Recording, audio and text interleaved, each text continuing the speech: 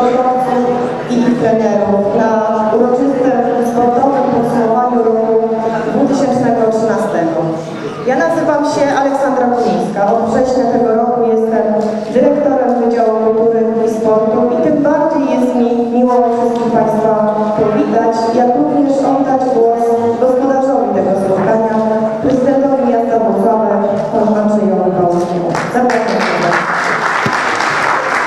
Szanowni Państwo, e, jak co roku spotykamy się w końcówce roku kalendarzowego, ale i w przededniu e, świąt Bożego Narodzenia i jest to dobry czas na e, pewien bilans, oczywiście niepełen, tego co nam się udało, z czego powinniśmy się cieszyć i z czego cieszymy się autentycznie w kończącym się roku kalendarzowym.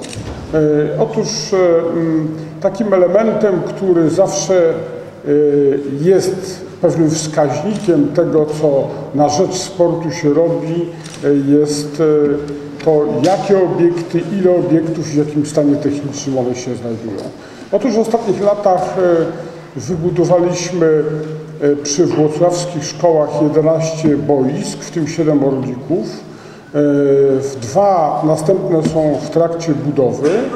E, I mówię to dlatego, że przecież nie można mówić o wynikach e, sportu kwalifikowanego, jeżeli nie będziemy mieli sportu masowego, a w tym przede wszystkim sportu dzieci i młodzieży, którzy to w tym wieku powinni nabrać i zamiłowania, i sprawności sportowej, aby móc rozmawiać o dalszych latach rozwoju e, e, i osiągania wyników.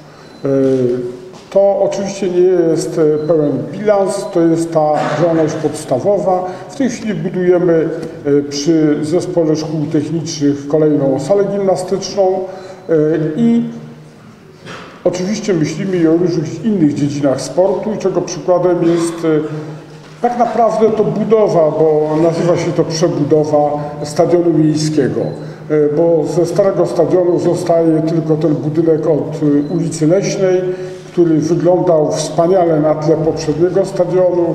E, Dziś niestety wygląda e, trochę skromnie. E, Wiosną e, chcemy rozpocząć e, e, użytkowanie tego obiektu.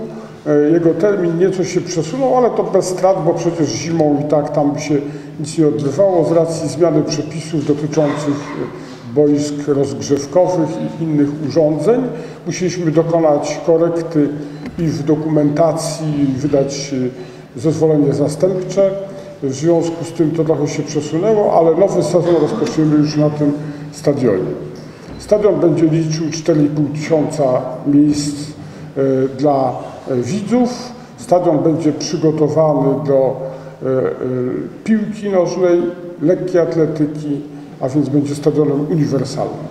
E, Drugim takim obiektem, który jest na finiszu, a jest bardzo istotny dla i tradycji rozwoju sportu wrocławskiego jest to przystań, e, która jest e, budowana przy Zgłowiączce, a więc z drugiej strony Zgłowiączki, bo z tej strony była dawna przystań wioślarska, która niestety straciła kontakt z wodą z racji różnych budowli inżynierskich.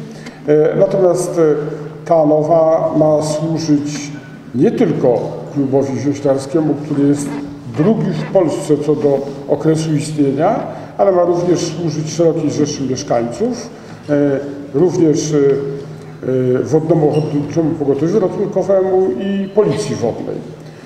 Oczywiście tych funkcji pewnie będzie przybywało, tak jak przybywa tych funkcji przy niedawno przecież otwartym basenie na Słodowie, e, gdzie w tej chwili już trudno to nazwać tylko basenem, ponieważ obrasta on w kolejne obiekty e, służące e, spędzaniu czasu w sposób sportowy.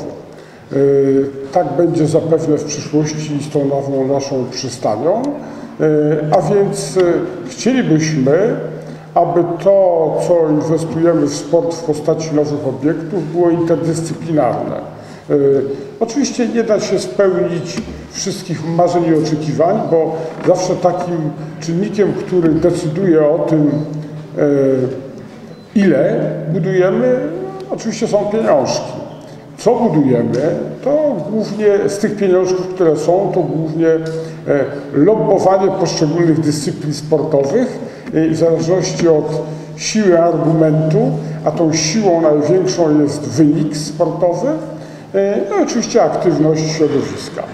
E, Chciałbym, aby kolejne lata e, obfitowały również w inwestycje służące możliwością uprawiania różnych dyscyplin sportowych. E, Chciałbym również, aby e, nasi zawodnicy byli znani w kraju i nie tylko w kraju, E, a wszystko na to wskazuje, że mamy ku temu potencjał, e, ponieważ e, e, choćby obecność takiej szerokiej rzeszy e, osób, które ze sportem są związane bądź bezpośrednio, bądź są rodzicami, opiekunami tych najmłodszych, e, wskazuje na to, że takie szanse są.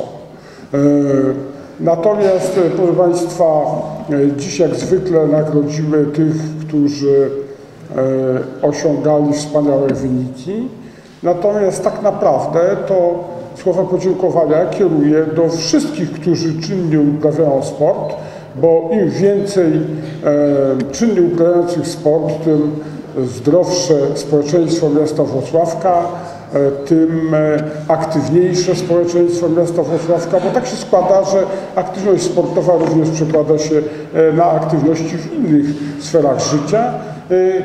I tu się sprawdza stare porzekadło zdrowym ciele zdrowy duch, bo e, sportowcy są zdrowi. E, oczywiście możemy dyskutować to już o wyższych szczeblach wtajemniczenia sportowego, gdzie ta granica jest cienka między, e, między wysiłkiem a efektami zdrowotnymi w przyszłości. Ale to nie to miejsce i nie ten czas do rozpatrywania e, takich e, wariantów. E, Proszę Państwa, serdecznie dziękuję za e, to, co robicie dla siebie, robicie dla społeczności Włocławka, e, robicie to dla wizerunku miasta bo przecież każde osiągnięcie sportowe jest jednocześnie promocją miasta Włocławek. Tej promocji nigdy nie jest za wiele, a powinniśmy to robić jak najczęściej, aby o Włocławku mówiło się dobrze i tylko dobrze, albo bardzo dobrze i tylko bardzo dobrze. E, Proszę Państwa, z okazji zbliżających się świąt Nowego Roku życzę wszystkim, aby spędzili e, ten wigilijny wieczór, bo on tak naprawdę rozpoczyna cały cykl świętowania e, w ciepłej, serdecznej atmosferze, aby o nikim Mikołaj nie zapomniał i przyniósł oczekiwane i upragnione prezenty, e, aby życzenia, które sobie wzajemnie w gronach rodzinnych będziecie składali, e, spełniły się co do joty w całym 2014 roku, e, a jednocześnie e, życzę, aby wyniki sportowe były coraz lepsze, żeby sprawiały coraz większą radość Wam samym i nam, którzy e, żarliwie kibicujemy Waszym osiągnięciom. A więc pomyślności, zdrowia, zadowolenia z tego, co robicie e, i jak najlepszych efektów sportowych. Jak minął ten 2013 rok? No ten 2013 rok y, mieliśmy rzeczywiście bogaty w sukcesy i myślę, że nie do powtórzenia i przez nas i myślę, że w ogóle w jakikolwiek klub y, w Polsce, jeżeli chodzi o judo. Y, Pięć złotych medali Mistrzostw Polski Młodzików i jeden brązowy to Mistrzostwa Polski Młodzików, natomiast na Olimpiadzie Młodzieży złoty, y, srebrny i dwa brązowe medale, łącznie 10 medali Mistrzostw Polski, Y, także no, jest to sukces, tak jak mówię, nie do, nie do przebicia myślę. Pierwsze miejsce w klasyfikacji drużynowej, jeżeli chodzi o polskie kluby, e, to, to naprawdę duży sukces. Ponadto e, zawodnicy startowali w Pucharach Europy, zdobywając też złote medale, w turniejach międzynarodowych również złote medale, także tych sukcesów jest dosyć dużo. E, Mam nadzieję, że to się przełoży oczywiście na e, kategorię starszą, bo e, ta grupa przechodzi już do kategorii juniora młodszego. Od stycznia dziewczyny już właśnie dwie będą startowały w międzynarodowym turnieju w Holandii. Mam nadzieję, że z dobrym skutkiem, chociaż turniej jest bardzo mocny, bo już zgłoszenia widziałam. E, Startują tam m.in. mistrzynie Europy, e, juniorek młodszych, e, mistrzynie EJOF-u, czyli tych igrzysk europejskich, które odbyły się w tym roku. No i później się zaczynają Puchary Europy. Są to przygotowania do Mistrzostw Europy juniorek młodszych i mam nadzieję, że tutaj nasze dwie gwiazdy wystąpią w tych e, zawodach.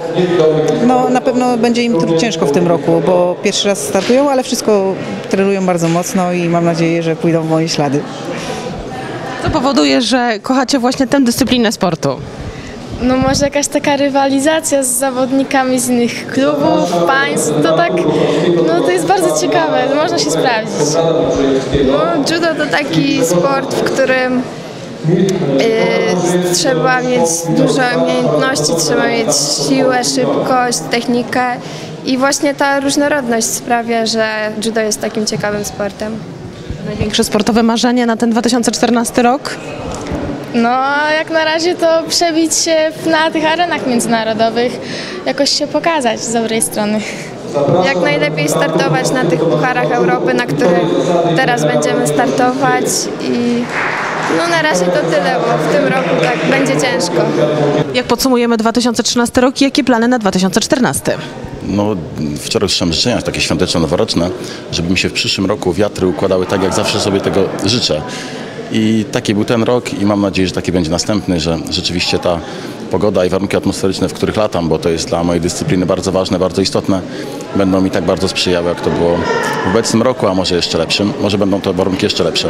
Wyjeżdżamy do Brazylii na Mistrzostwa Świata, to ogromne przedsięwzięcie logistyczno-organizacyjne, już nie tylko sportowe. Mam nadzieję, że przyjadę stamtąd tak szczęśliwy, jak, jak, jak, jak zadowalające i świetne wyniki udawało nam się w tym roku osiągnąć na Mistrzostwach Europy. Przypomnijmy te osiągnięcia tegoroczne dla naszych widzów. Oczywiście mistrz Polski i zwycięzca balonowego Pucharu Polski, ale siódme miejsce w Europie dało mi nie mniejszą radość, nie mniejszą satysfakcję i, i, i cały czas się potrafię z tego cieszyć. Jak podsumujemy ten 2013 rok? U mnie było bardzo owocnie, ponieważ od zdobycia Mistrzostwa Euro- Polski minęło bardzo mało czasu i już miałam mistrza Europy. No i to były takie najgłówniejsze, bo sukcesów takich jeszcze pośredniejszych to troszkę było. Różne puchary zwyciężałam, różne turnieje. E, Również startuję teraz w zawodach e, z ludźmi pełnosprawnymi, gram w drugiej lidze, więc e, rozwijam się i nie spoczywam na laurach. Panie Piotrze, udało się przekonać Włocławian, że warto jednak grać w kręgle. No, Włocławian się udaje przekonać. Gorzej jest kwestią e, miejsca, gdzie można te kręgle, zwłaszcza klasyczne, uprawiać. Cały czas lobbujemy. Pan prezydent zachęca do lobbowania, więc będziemy w dalszym ciągu to robić. Ja chciałbym pozwolić sobie tylko zauważyć taką jedną, dwie rzeczy. Jedno, że Jadwiga jest, e, z tego co słyszałem, jedyną mistrzynią Europy z Włocławka i mam nadzieję, że pan prezydent dostrzegł to i docenił. E, Drugą sprawę chciałbym zauważyć, że y, pracujemy na rzecz rozwoju sportu niepełnosprawnych. Dużo się mówi o sporcie dzieci i młodzieży, co jest bardzo istotne, ale również szalenie istotną rzeczą jest e, sport w środowisku osób niepełnosprawnych, ponieważ sport dla tych ludzi to nie jest tylko zdrowie, aktywność, ale to jest rehabilitacja, to jest możliwość integrowania się ze społeczeństwem i medale czy sukcesy osób dla, dla osób niepełnosprawnych sądzę, że cieszą ich być może jeszcze bardziej i chciałbym właśnie, żeby władze miasta też na tą sferę sportu y, popatrzyły takim bardziej łaskawym wzrokiem. Jakie plany na 2014 rok? Ja będę się ciężko przygotowywać do Pucharu Świata, który będzie w Korei w 2015 roku, więc wszystkie wysiłki idą na to. Oprócz tego będą właśnie zawody, półfinały, finały Mistrzostw Polski, sporo zawodów, ale głównie impreza docelowa to jest 2015 rok i wyjazd do Korei w ścisłej kadrze Polski. Znaczy, nie ukrywam, że też mam te ambicje, ponieważ do Pragi czeskiej na Mistrzostwach Europy udało nam się pojechać obydwoje, co, co prawda Jadwiga miała znacznie większy sukces. Ja póki co nie odpuszczam, również będę się starał no, walczyć, bo nie czas na, na składanie jeszcze broni, tym bardziej, że no jakby to być, jak mówiliśmy zawsze, że kręgle to jest sport od lat 5 do 105, a do 105 jeszcze mi troszeczkę zostało. Teraz pytanie zupełnie odbiegające, ale w klimacie wigilijnym. Bez czego nie wyobrażacie sobie Wigilii i świąt? Jadziu. Dla mnie bez rodziny. Tylko tyle, tylko rodzina. Nie trzeba mieć ani karpia, ani... Znaczy opłatek wiadomo, że tak, i choinka również, ale dla mnie rodzina. Jakie zapachy i smaki? Bez czego nie może być Wigilii? Mm, Uszka mojej mamy. Oj. Najgorzej, że ja nie mogę Jadwigi zawsze namówić na kluski z makiem, które są z kolei wywodzą się z tradycji mazowieckiej mojej mamy, a zupełnie jest to nie mieszczące się w tradycji yy, Jadwigi środowiska rodziny. Ja jeszcze nie wyobrażam sobie śpie- śpiewania kolęd, bo to jest nasza e, taka polska tradycja, która jakoś troszeczkę zanika. Tym bardziej, że my będąc na obozach sportowych różnego rodzaju dużo śpiewamy przy ogniskach i jesteśmy też oprócz tego, że aktywnie, ruchowo, te też lubimy śpiewać, a każdy śpiewa tak jak umie, a najważniejsze, żeby śpiewał, że, bo śpiew to też radość, a okoliczność Wigilii chyba jest jedną z największych w roku.